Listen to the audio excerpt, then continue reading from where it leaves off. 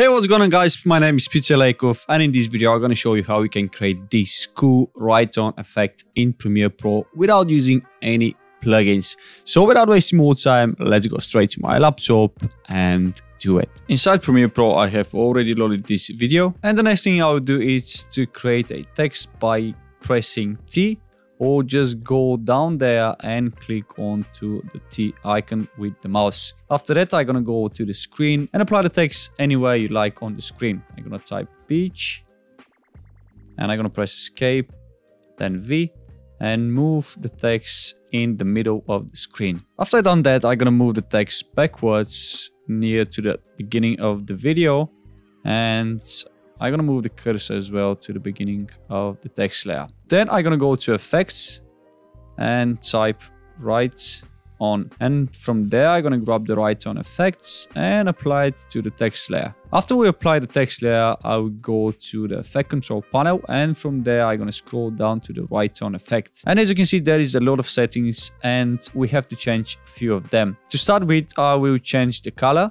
from white to, let's say, green okay that's kind of green.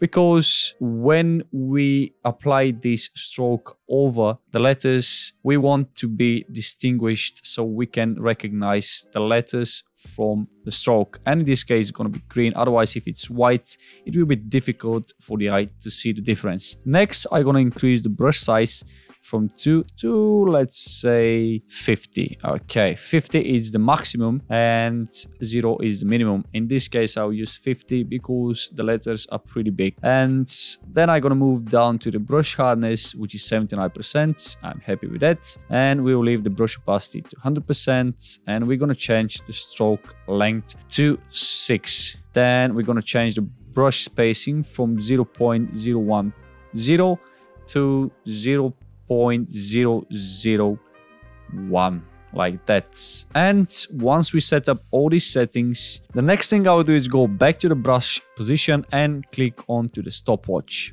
And there's the moment when this is gonna take a while to create all these keyframes because for every keyframe we have to create a point where we cover the letters. So to not waste your time, I'm gonna speed up this process. And once I finished, I will show you the final result.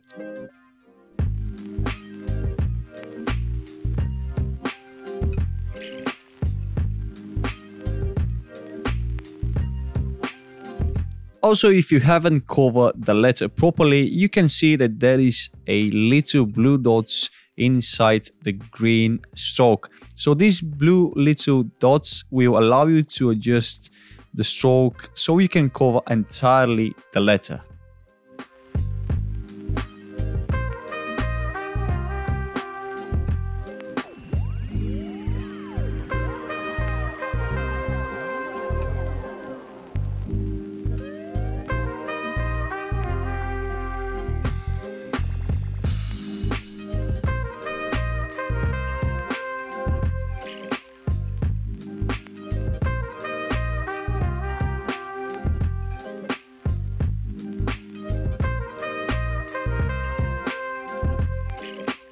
And now once we have finished with covering the letters, I'm gonna go back to fit so I can see the whole screen.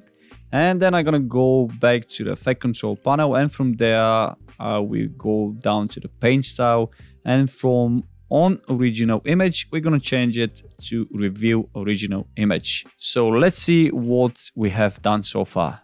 And with that, I'll conclude this Premiere Pro tutorial. If you want to see more of this, you can check the videos at the end of this one. I will appreciate if you hit the like button and subscribe my channel for more videos like this one. Thank you for watching and I'll see you next time.